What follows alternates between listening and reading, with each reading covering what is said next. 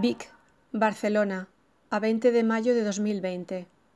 Queridísimo lector, queridísima lectora, qué entrañables para mí dirigir mis palabras a esas tierras cien años después de iniciar el proyecto en Zaragoza.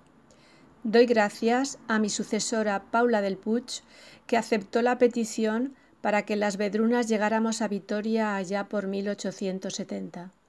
Y desde ahí a Zumaya, a Zaragoza, a Bilbao y Pamplona. Pero sobre todo, doy gracias porque pasado todo este tiempo, esa presencia educativa se mantiene viva y con fuerza.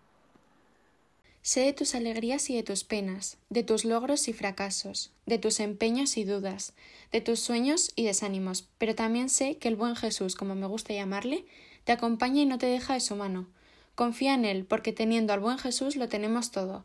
Él conoce tu nombre, y lo más importante, conoce tu corazón, y te guiará en todo lo que emprendas y te esfuerces por conseguir. Ponte en sus manos, Él nunca te abandonará.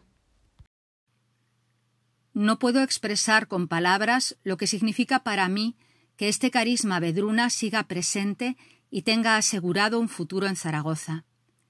Yo no podía imaginar que hoy la congregación tuviera el número de hermanas que tiene, el número de presencias en tantos lugares del mundo por donde se extiende, y mucho menos podía imaginar que tanta gente como tú pudiera estar comprometida con este talante vedruna y lo asumiera como propio.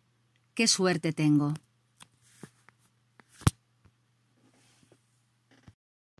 Aunque yo no pudiera imaginarnos todo esto, hoy es realidad. Por eso te digo que no dejes de soñar, de crear, de sembrar.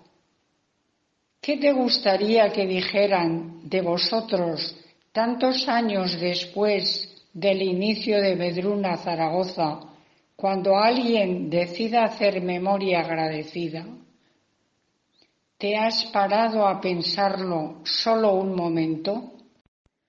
Sé que estáis pasando por unos momentos muy complicados a todos los niveles, de salud, personales, económicos, y sé lo que eso significa. Puedo decir que mi vida no estuvo exenta de ellos. Por el contrario, tuve que sobrellevar situaciones muy duras y en muchas ocasiones las cosas no me salieron como yo esperaba. En esos momentos, aunque todo se viera oscuro y sobre todo cuando más oscuro se veía, más confiaba en Dios en ese Dios Padre que nos ama y nunca nos abandona, y en ese buen Jesús que nunca me falló. Por ello, sé también que es tiempo de hacer redes, de soñar juntos, de pensar en futuro, de que entre todos sigáis tejiendo esa gran tela multicolor que es Vedruna.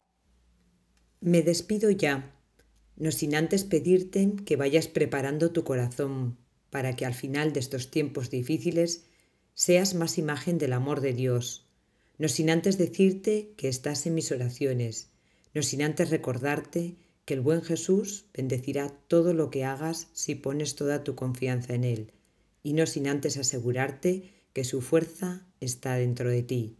Te quiere tu humilde hermana en Dios, Joaquina de Más y de Bedruna.